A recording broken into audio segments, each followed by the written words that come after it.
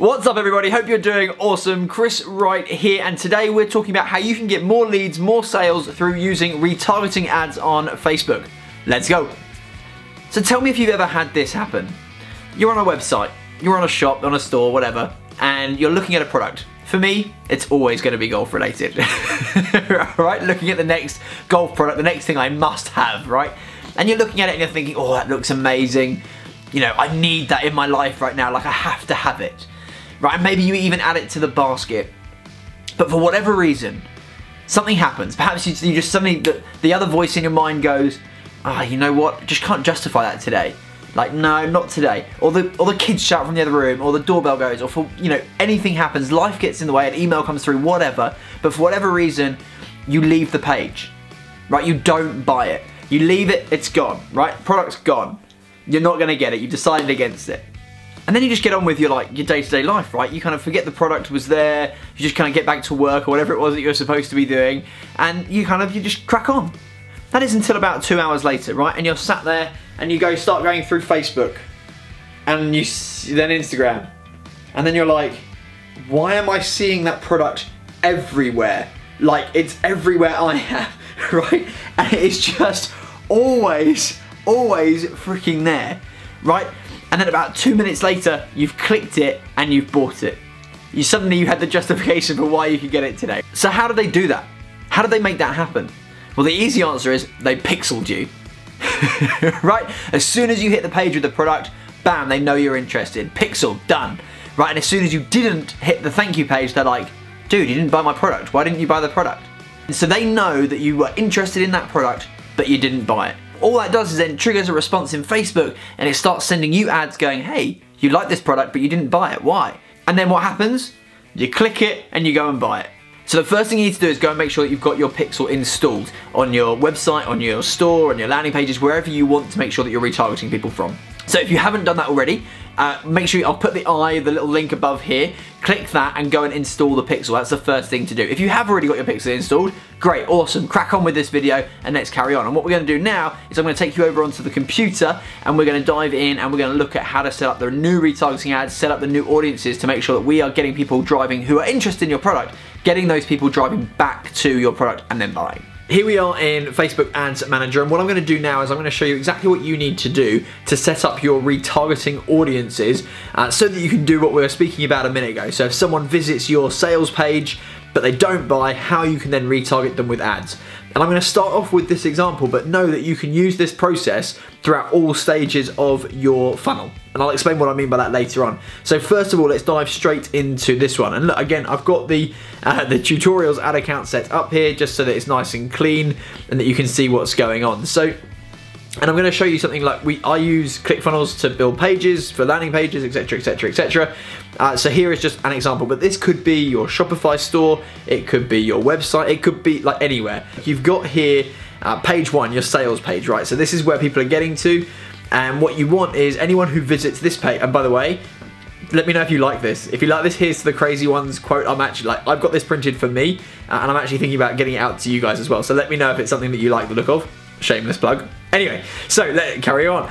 So the this is the sales page, right? So you get to the page, then and they're umming and ahhing and they're like, oh, just don't know if I want to get it, don't know if I can justify whatever, right? And they decide, no, it's not for me, and they leave, right? So they do not visit the thank you page, right? So you've got sales page here, thank you page here, and basically you know that anyone who visits the thank you page bought the product, right? So we know that. And that's what we're going to tell Facebook. We're going to tell Facebook that anyone who comes to this first page but doesn't go to the thank you page, we want to retarget them with ads driving them back to this page. Make sense so far? So how do we do that? Now, again, I'll quickly just show you using ClickFunnels, but I'm hoping that you've already set up the pixel. As I said earlier, if you have already set up the pixel, great. If you haven't, make sure I'll put the link down below in the description to the setting up your pixel. Uh, for example, here I've got it in the header tag here, the Facebook pixel code. Okay, so look, now what we're going to do is now we're going to go set up the audience. The pixel's already on there, which is great. So what we're going to do now is go back to the Facebook Ads Manager. And what you want to do is get yourself over to the Audiences tab. So if you click on the menu at the top, click on Audiences, uh, all, tool, all tools and audiences there, and it'll bring you to this page. Now, if you've gone through one of the previous episodes on setting up your audiences, you'll already have an audience in here, which is great. But what we're going to do now is create a custom audience. Okay, so click the drop down on create audience, click custom audience. And what we're gonna do here is click website traffic. Now, basically, as I said before, what we're gonna do is we want anyone who visits the sales page but not the thank you page to be retargeted. So that's the audience that we're going to build here.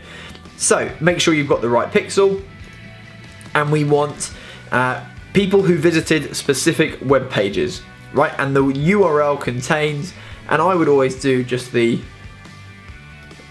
like so, like the full URL in there.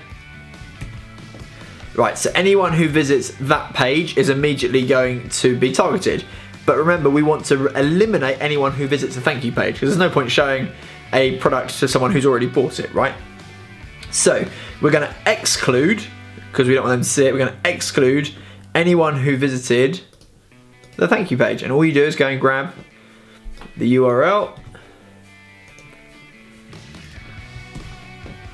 Great. As an example, there we have it. So what this will do now is start building an audience of anyone who visits the sales page but doesn't visit the uh, order confirmation or thank you page. Those are the people that didn't buy the product, so we can now retarget them. Now, I the first time I started building out all the audiences, I didn't get really specific in naming them, and then it just had hundreds of audiences. I was like, what do all these mean? So make sure they're super specific when you start naming your audiences. So this would be here's to the crazy ones did not buy, right? As an example. So, oh, and by the way, here, if you want it only to meet, if you depends how many criteria setting, but I want it to meet all these criteria. So they visit this page, they do not visit that page. Create audience. Done. Now, as I said, it might take a few minutes to start building that audience. That's fine. It will be zero because I haven't sent anyone to that page. Uh, but just click done there, and it's going to start building that. It's going to start populating that which is great. And now you can start driving traffic there and now you can start retargeting people. That audience is then created. That is your first retargeting audience done. Well done. What we now need to do is set up an ad to start driving people to that. So let's go and do that now. Click on Ads Manager. And again, there's no ads here. It's the blank, the tutorials account. So let's go create ad. And what we're really looking at here is getting conversions. So let's click on conversions and let's put retarget crazy ones quote. Retarget crazy ones quote, which calling it, keeping it nice and specific. Yeah, ignore that because you've all had your ads set up by now. Change the ad set name and let's just put retarget, like cannot spell.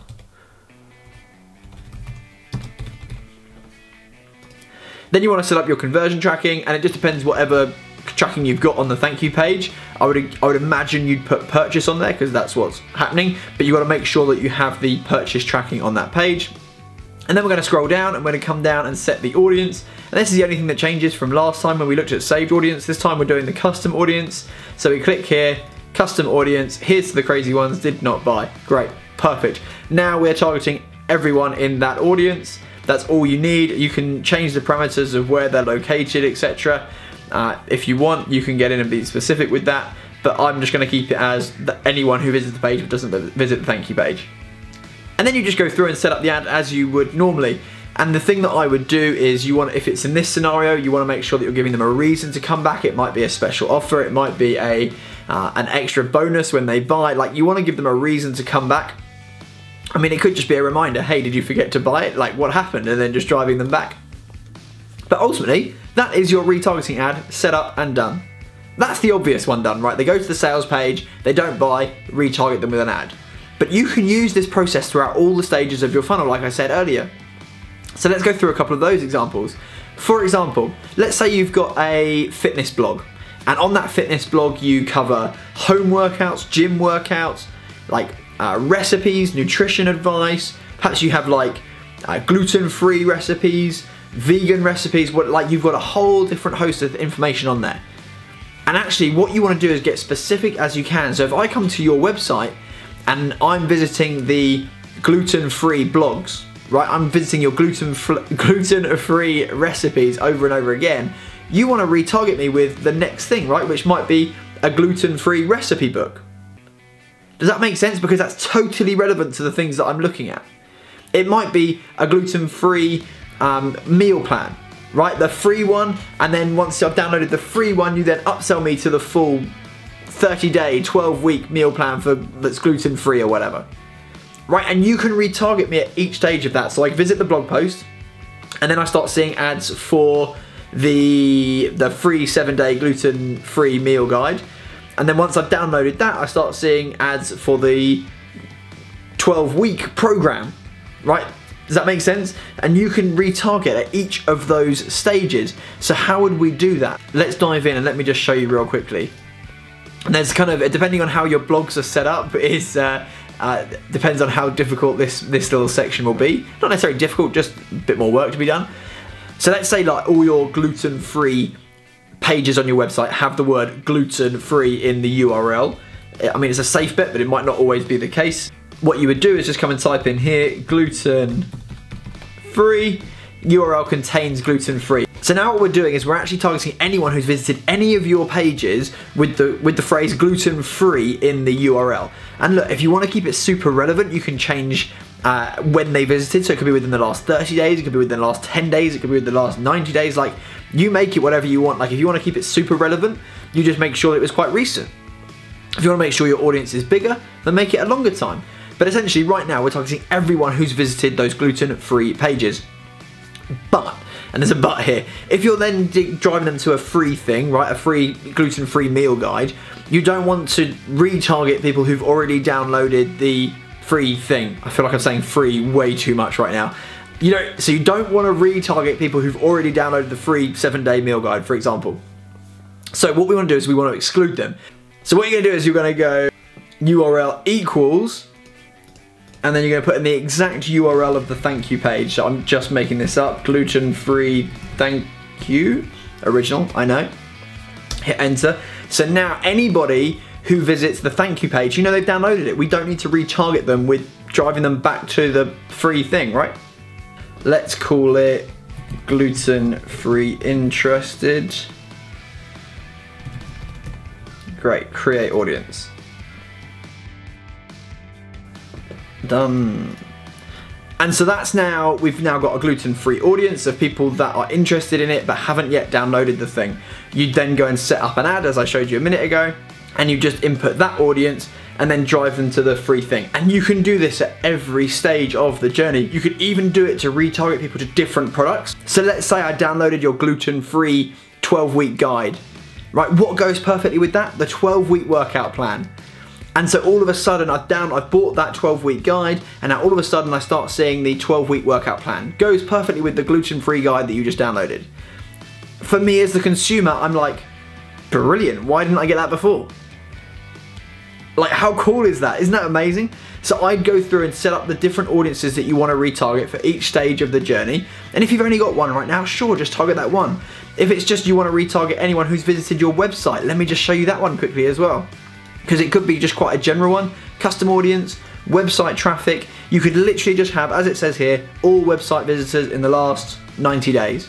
Name your audience, website visitors. It could be that simple. Right, create audience, done. It could be that simple, but the more specific you get, the better. Okay guys, that's all from me today. I hope you've enjoyed it. I hope you've liked it. If you have liked it, make sure you hit that like button. Do it right now. Leave me a comment below, share the video. Most importantly, subscribe. Make sure you never miss a tutorial, never miss an episode. But until next week, see you later.